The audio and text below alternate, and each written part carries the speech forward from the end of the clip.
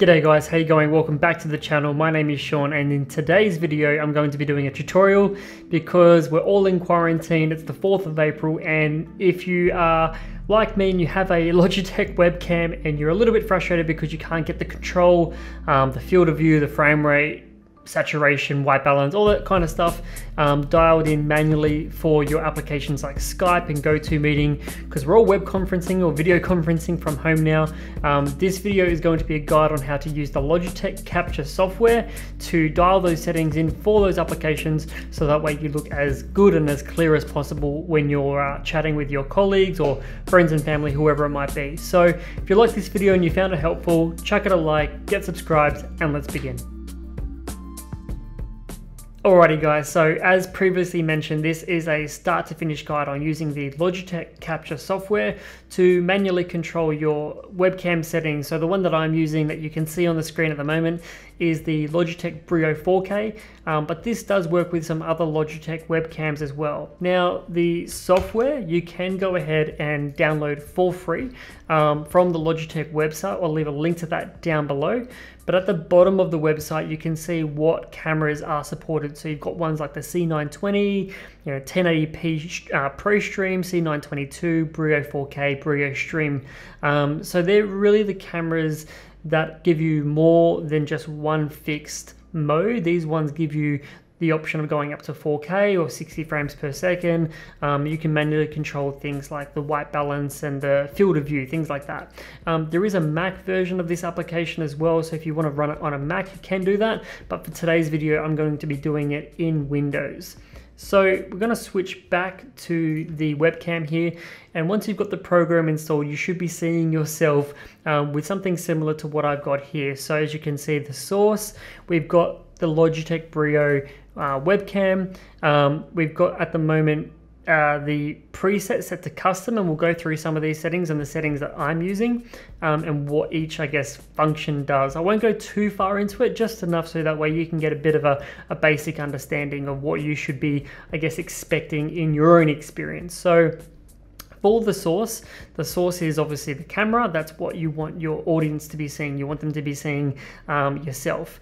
Um, you can go ahead and manually choose the presets for what you're doing, um, but I would recommend setting it to custom and then the priority being frame rate. You want to appear as smooth as possible um, first, in my opinion, and then adjust all your other settings after that point. For the field of view, my webcam actually does have a 90 degree field of view. So you can see there when we click 90 degrees, it opens right up. If you're not a fan of that, or maybe the background isn't um, suitable for 90 degrees, you can change it to 78, or you can go ahead and change it to 65.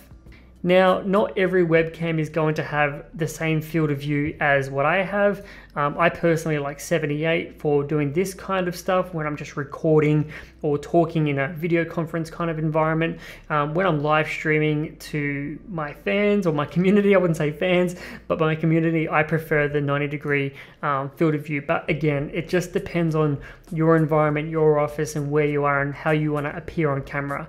Um, but that's the cool thing about this program is you can go ahead and fix that setting inside of the software and it stays, it doesn't change. Um, again, you know, your camera may not have HDR, but I've got HDR, so I can turn that off or on. Um, this is a live preview as well as you can see, so the application is going to change so you can see what, um, you know, tweaks that you're making um, and how that looks before and after. Um, we have an option to zoom here, so if we want to zoom right in, um, you can do that. So you can play around with the zoom. If you want to sort of crop in a little bit, you can do that. Um, you can also pan around by using the left and right arrows. Um, autofocus, I actually don't mind leaving autofocus on.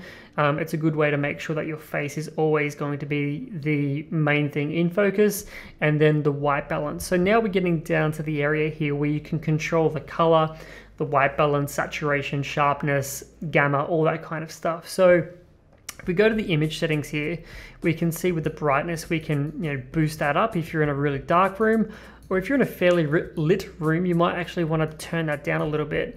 Um, personally, I like mine at about you know 85 i'm trying to get to 83 that's close enough. And then the contrast i actually want to go ahead and and uh, boost that contrast. If you boost it too much you're going to look a little bit um, insane but you know again change it depending on your room's conditions. If you've got a lot of natural light, then it might be better to leave it sort of um, in the middle and that way you've got a good balance. Um, but I'm gonna put the contrast at about 120 here. Um, this is your sharpness, this one with the triangle. Um, you know, sharp corners, it's the sharpness. So you can go ahead and you can see the difference. So dragging all the way down to zero makes me seem a little bit more soft. Dragging it all the way up, I seem really grainy. So you just find that happy medium. So we'll go to like, you know, 120, something like that. Um, and then this one I think is your saturation. So boosting that all the way up, again, gonna be looking a little bit silly. Um, but then if you have it at zero, there's no color. So you've got black and white. Um, if you want to though, you know, you can maybe change it to around about 90. Um, takes a little bit of color out of the face and body, but that might also be a little bit more natural and a little bit more easy on the eyes as well. So, you know, again, just change the settings based on what you like and how you want to appear on camera. Now down the very bottom here you can see it's got anti-flicker, you can turn it on or off, um, 50 hertz or 60 hertz, you can see the camera slightly changes when I'm switching it. So if you're noticing that with your lights on in the room, if you've got LEDs or fluorescent lights and that they're flickering, um, sometimes you just need to change it from 60 hertz to 50 or vice versa and turn that option on or off in order to remove that flicker. There's sometimes just an issue with certain uh, cameras and the frame rate and the lights that you might have in the room. It's trying to focus on your face and so it flickers in the background because um, it's having a I guess hard time trying to differentiate the light from yourself. So just play around with those settings.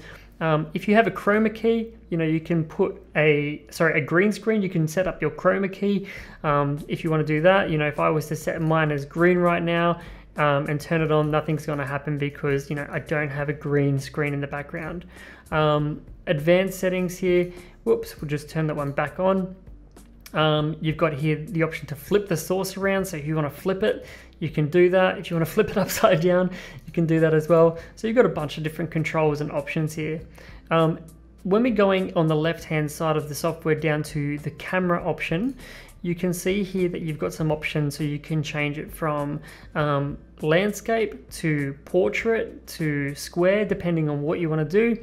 So for me, I've got mine set to full HD and because my camera can support it, I've got 60 frames per second set up. So that way it's as smooth as possible for the people that are, um, I guess, viewing uh, viewing you on the stream or in the web conference or video conference or whatever it might be. I always prefer smoother than anything else. And so, you know, you'll see on your webcam what options are available to you.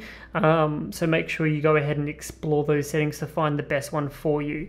Um, video encoder, this will be different computer to computer. Um, and then you've got an option here for things like a framing grid. If you want to have a little grid on there, you can do that. But just remember, when you have the grid turned on, they will also see the grid. Alright, so now that you've got your webcam dialed in and you're happy with how it looks and how it appears and you're ready to start streaming or web conferencing, video conferencing, whatever it is that you're that you're doing, um, you can switch into the application of your choice. So for this tutorial, we're going to go into Skype. Um, with Skype, in your more options and then settings, you should get this little dialog box that I've got currently.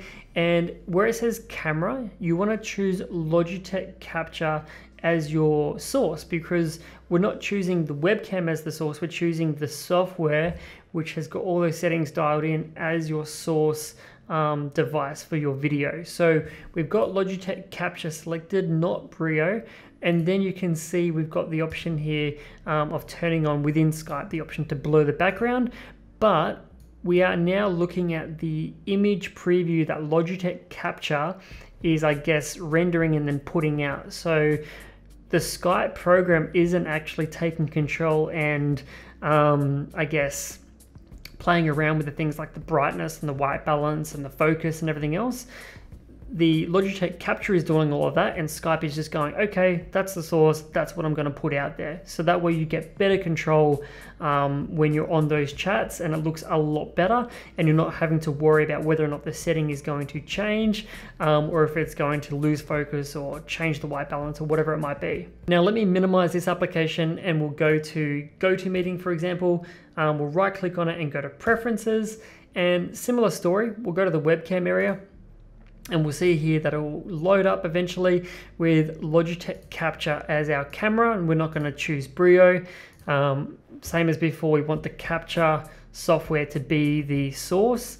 Um, and then you've got the option here of you know going into um, widescreen or normal but even if you change these around it doesn't make any difference because the Logitech capture software is doing all the work so things like Skype and GoToMeeting are great um, if you want to I guess, play around. You can go back to your um, Logitech capture software. If you want to change that field of view, just go back to the source number one, um, change it to maybe 78, um, zoom out a little bit, go back to your you know GoToMeeting, preferences, webcam, minimize capture, and they will see you know that field of view changing a little bit. So it's a really, really handy program for manually specifying and dialing all your specific settings. Now, the applications that support this particular function or support the Logitech Capture, in my experience, it does vary, unfortunately. Um, Facebook Messenger wouldn't support Logitech Capture. Um, Zoom wouldn't support Logitech Capture. It's quite annoying. I don't know why Zoom is one of the most popular um, apps for I guess, video conferencing um, or web chat or whatever you want to call it. And for an application like Facebook or Zoom to not support the Logitech Capture application, I don't know whose fault it is. Um, so just be aware that your mileage may vary. Um, I'll put a list of applications that do work in the description as well to save you some time, hopefully. Um, if you have any issues, let me know. I'll try and help the best that I can. Maybe reach out to Logitech or maybe reach out to the, I guess, software developer of the program you're using if you're having any issues. So that's it for this video. Stay safe, everyone. If you have any questions or queries, feedback, leave it in the comment section. I'll do my best to help you guys. Um, like this video, get subscribed, and I'll see you in the next one. Cheers.